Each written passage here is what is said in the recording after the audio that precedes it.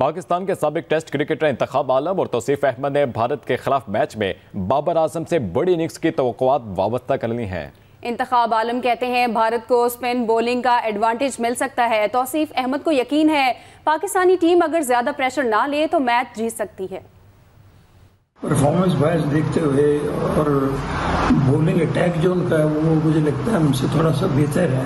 उनके पास तीन क्लासिक जो नो स्पिनर्स हैं अश्विन ऑफ़ स्पिनर है जडेजा वो लेफ़्ट आर्मर है, और कुलदीप जो उनका है गुगली बॉलर चाइना मैन तो ये हमें तंग कर सकते हैं। पिछला मैच जो पाकिस्तान जीता है, उससे खौफ ज़्यादा तो इंडियन होंगे डेफिनेटली होंगे। और फिर साथ के साथ ये भी कि भाई बाबर आउट हो गया, उसके बाद भी ये जो इतना लंबा कर गए और मैच जीत गए।